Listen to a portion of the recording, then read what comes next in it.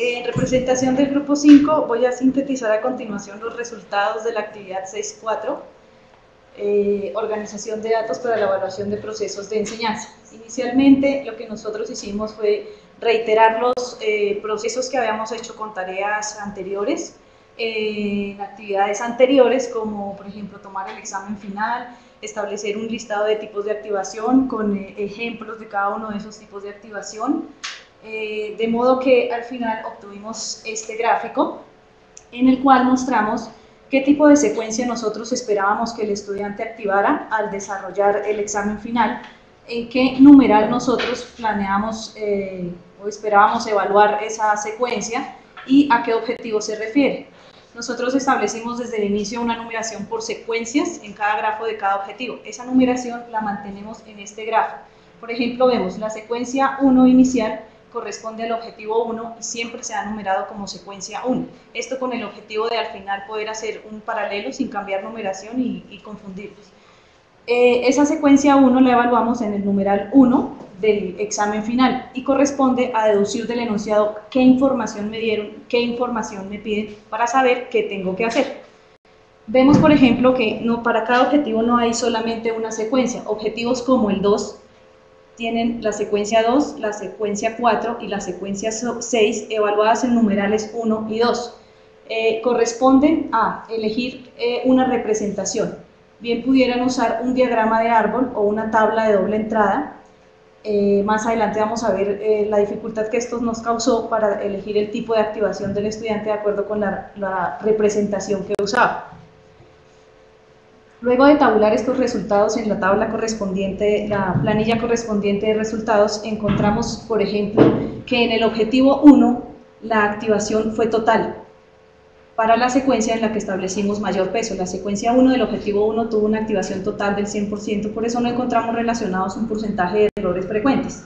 Diferentes objetivos como el 3, que hacía referencia a usar la fórmula para calcular permutaciones o el principio multiplicativo, donde encontramos que para las secuencias 2, 3 y 4 consideradas para ese objetivo, el error 15 es reiterativo en todas las secuencias, era algo que esperábamos. Ese error corresponde a entregar un resultado eh, sin evidenciar procedimientos previos. Simplemente el estudiante muestra una cantidad como un resultado, pero no hay una argumentación o un procedimiento previo a ese resultado. Encontramos otro tipo de apreciaciones, por ejemplo, este 57 que aparece en la columna NR. NR corresponde a no hay respuesta. El estudiante simplemente no abordó la, no abordó la pregunta. No hay algo que nos muestre, que nos dé evidencias de que activó una secuencia o de que no la activó. Caso diferente en la columna NM, que corresponde a que no muestra. Es lo que les mostraba en el gráfico anterior del objetivo 12 o del objetivo 3, que se abría respecto al sistema de representación usado o se usaba la fórmula o el principio multiplicativo. Eso no afecta en que el estudiante no active una secuencia. Por ejemplo, vemos acá hay 37% de escolares que no muestran una respuesta pero tienen una activación total del 51% e incurren en un error de uso de diagrama de árbol. Significa que estos estudiantes optaron por abordar el problema a partir de representaciones del diagrama de árbol, por lo cual no muestran, no hay evidencia de que hayan usado una lista, por ejemplo. ¿Sí? Se refiere a eso. Eh, luego de elaborar estas tablas, mirar estos porcentajes, establecimos unas, eh, habíamos establecido unos niveles en los cuales los estudiantes se podrían haber ubicado. Entonces, en, viéndolo desde el, punto de vista del total de estudiantes por nivel, encontramos que no hay estudiantes en el nivel superior, porque nosotros establecimos que debían activar de forma total todas las 10 secuencias que consideramos. Sin embargo, ninguno, ninguno lo logró. No significa que los que no muestran una secuencia, eh, por ejemplo, eligen diagrama, no usan tabla, activan una y la otra no, entonces no tienen activación total por elegir uno y otro había la opción de, usar uno o el otro. Ese no sería el caso de los que no están en nivel superior. Sin embargo, la mayoría de ellos, eh, el 83%, se ubicaron entre el nivel alto y básico porque tienen muchas activaciones parciales en algunas secuencias que consideramos importantes para algún objetivo. Perdón. En el nivel bajo encontramos eh, el 17% de los escolares se ubicaron allí porque hay evidencias de que no lograron la capacidad que nosotros esperábamos o la secuencia que nosotros habíamos establecido para ese numeral del examen.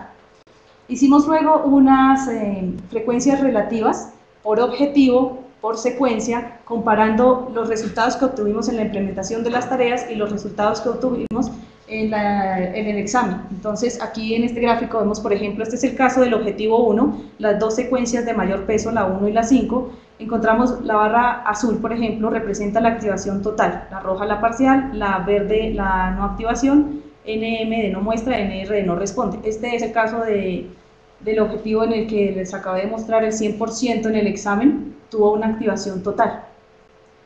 Sin embargo, no es el caso de un objetivo en el que hayan dejado de responder. Precisamente esta secuencia se encuentra siempre, a la secuencia 1 se encuentra siempre al inicio de todas las secuencias de los objetivos. Eh, era interpretar el resultado, entonces sería muy grave que no hubiese un alto porcentaje que lograra esta secuencia porque sería... Mm, sería una cadena de sucesos que llevaría a haber activaciones nulas en los, eh, los otros objetivos, debido a que esta es requisito, para el requisito para, las, para los otros objetivos.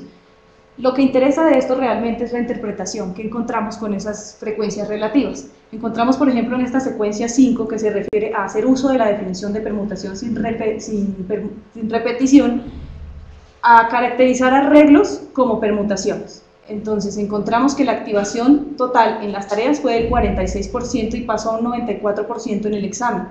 La parcial pasó de un 31 a un 6%. Tendría sentido porque la mayoría de los que lograron eh, ubicarse de las tareas al examen en total dejaron eh, de, pasar, de estar en, en parcial, por eso es la correspondencia entre la disminución de un porcentaje y el aumento en otro. Encontramos que el 6% de los estudiantes todavía sigue considerando arreglos con los mismos elementos pero diferente orden como permutaciones. Todavía tienen esa dificultad para identificarlas.